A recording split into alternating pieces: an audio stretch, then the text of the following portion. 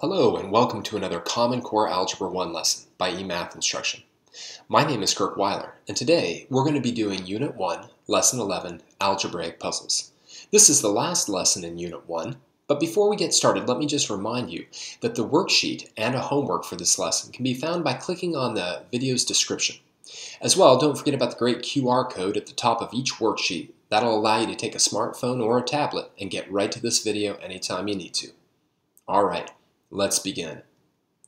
So what we're going to be doing today is we're going to be exploring kind of cool patterns that arise with numbers and seeing if we can't figure out or prove that those patterns always hold by using what we've learned about expressions, variables, equivalent expressions, things like the properties like the associative property and the commutative and distributive properties. So let's play around with these. I love them. Exercise 1. Choose any number create the sum of 2 more than 3 times the number with 2 less than 2 times the number. What pattern is true of the result? All right, so, whoa, 2 more than 3 times the number, 2 less than 2 times the number? What's the pattern? All right. Um, it says, let's explore the pattern with numbers we know before working with algebraic expressions. Even using numbers, the English is a bit tricky to decipher, so let's do it together using a single number. Let's let the number we choose be 3. And we're going to show the calculation as described in the problem. Wow. 2 more than 3 times the number and 2 less than 2 times the number. So 2 more than 3 times the number. So 3 times the number, right? And then we want 2 more than it. All right, and we want to add, right, the sum, right, of 2 less than 2 times the number. So there's 2 times the number, and then there's 2 less than it. Okay, so let's really try to understand here. Here's the sum, right, that's this thing, of 2 more than 3 times the number with 2 less than 2 times the number. All right, let's evaluate this expression. Um, let's do what's in parentheses first here. We've got 9 plus 2. All right. And then we've got 6 minus 2. And then that's going to be 11 plus 4. And that gives me 15. All right. So when the original number is 3, my final result is 15. Okay, great. So is there a pattern? Well, maybe. Maybe the pattern is that the number will always, the result will always be, I don't know, 12 more than the original number, right? 3 plus 12 is 15. I don't know. So let's try a few numbers and see what happens. Let's, um, let's go for the number, I don't know, 4. Let's try that. So the same calculation, right? We're going to do 2 more than 3 times the number and 2 less than 2 times the number. All right, let's see what we have. 3 times 4 is 12, plus 2.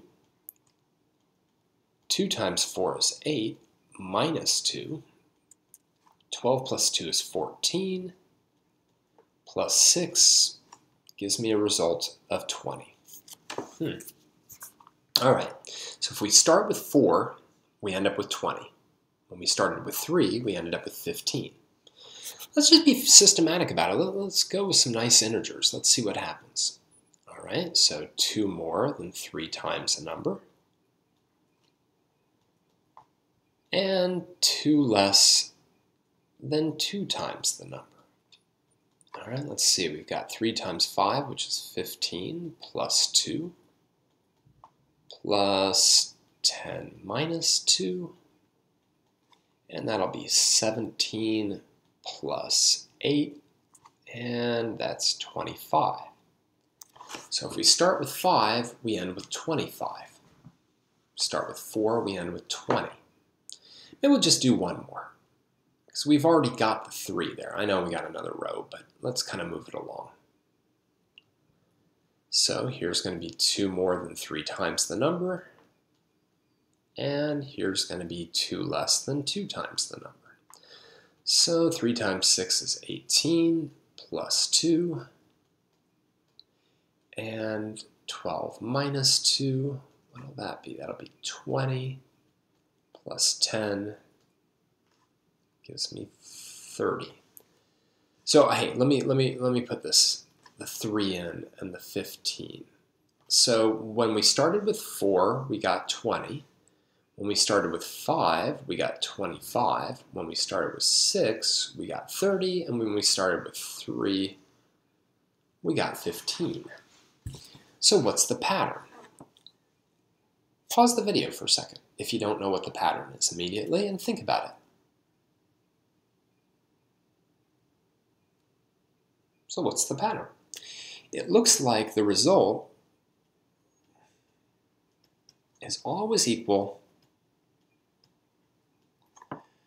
5 times the original. 5 times the original. All right?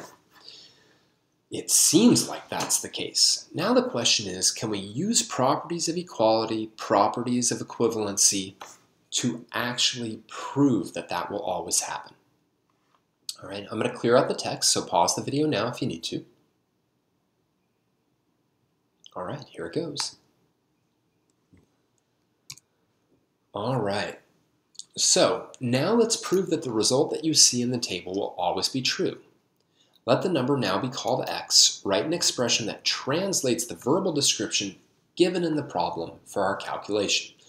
All right, so let, us do it. Um, 2 more than 3 times the number. Well, if the number is x, then 2 more than 3 times the number will be 3x plus 2. But we want to create the sum of that with a number that is 2 less than 2 times the number. All right? Now, we can use the associative property of addition to say that those parentheses don't really matter. They don't. We don't have to add the 3x and the 2 first and the 2x and the negative 2 second. Then, of course, we can use the commutative property of addition to flip-flop that 2 plus 2x into a 2x plus 2. And then now you can probably see it. 3x plus 2x is 5x. 2 minus 2 is a big fat 0. So we get 5x. So if we start with x, the result is always 5 times x. Kind of neat. Kind of neat, right? So that's how we can prove a general result by starting with just a variable instead of a specific number.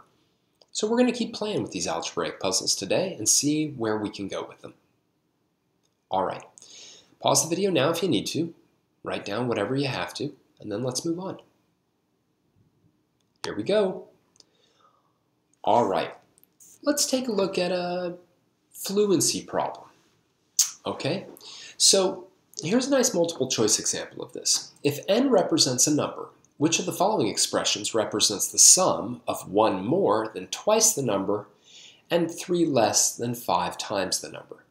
Pause the video now, take a moment and think about this and see if you can translate all of this into a simple binomial expression. Pause the video now.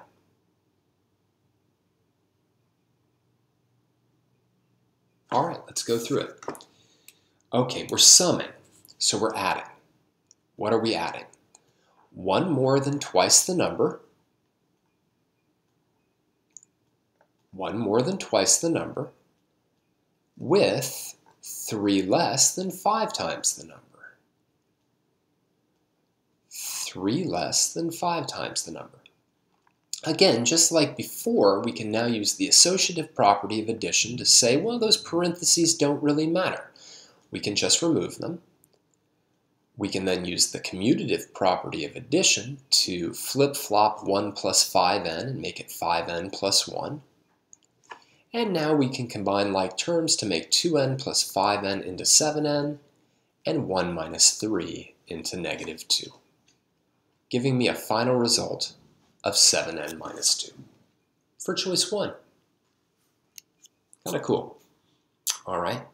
So this is a really nice combination of what we did in the last lesson where we were translating English into algebraic expressions. Now we're doing it sort of for more of a purpose, if you will. All right?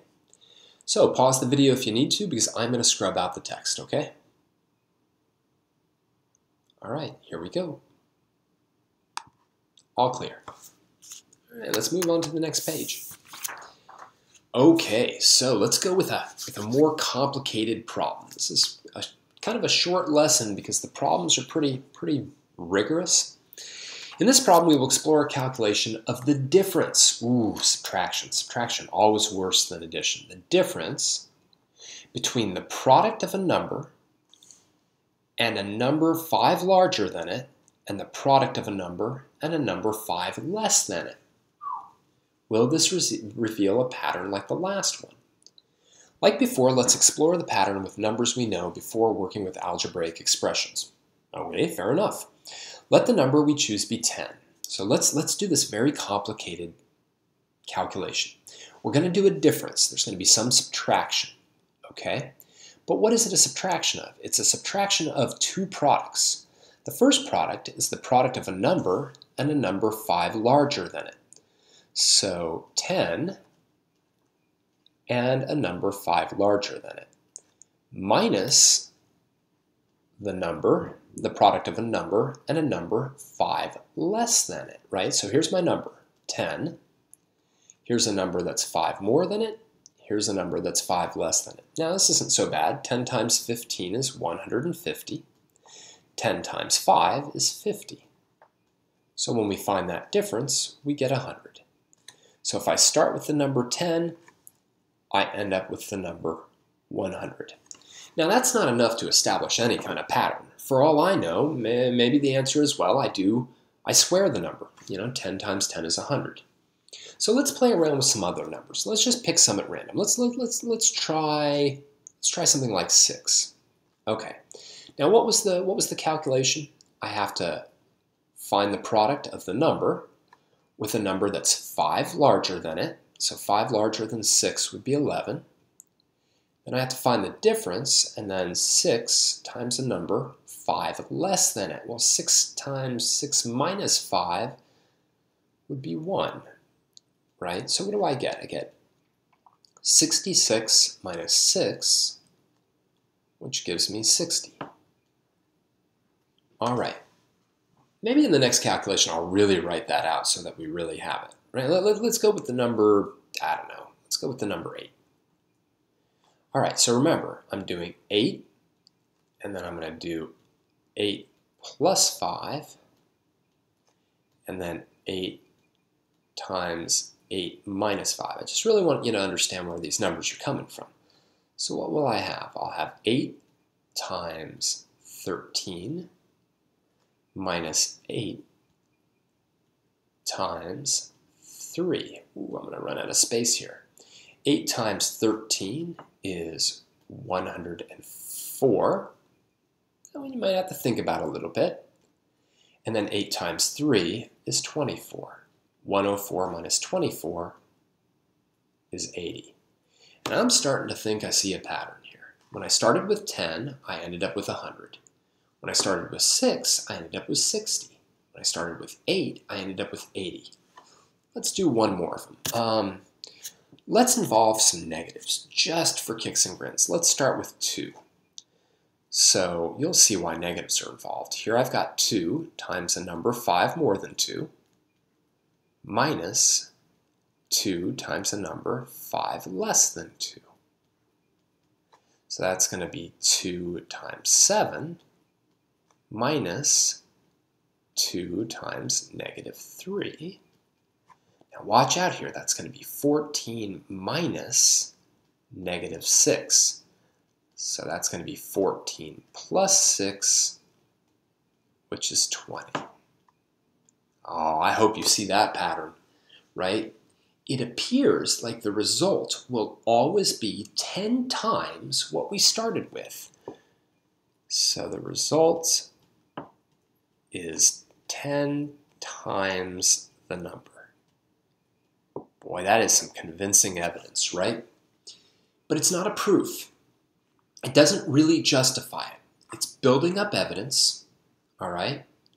but it doesn't justify that we will always get 10 times what we start with. So now let's prove that.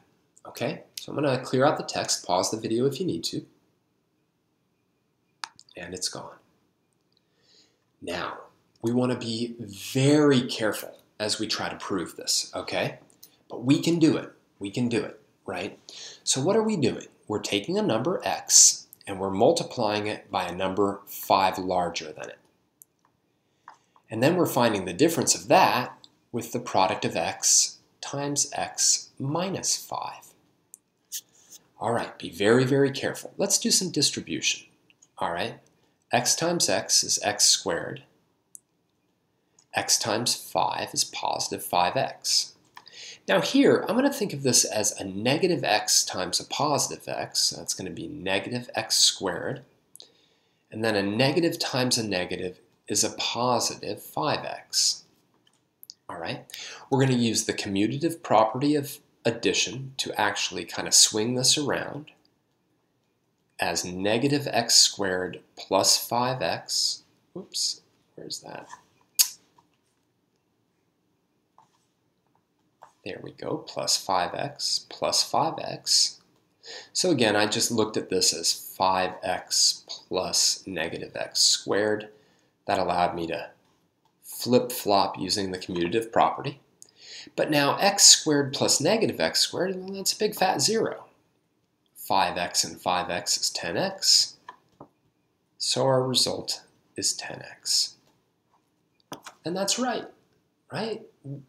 we saw, based on the table, that we were going to get a result that was 10 times what we started with, and there it is.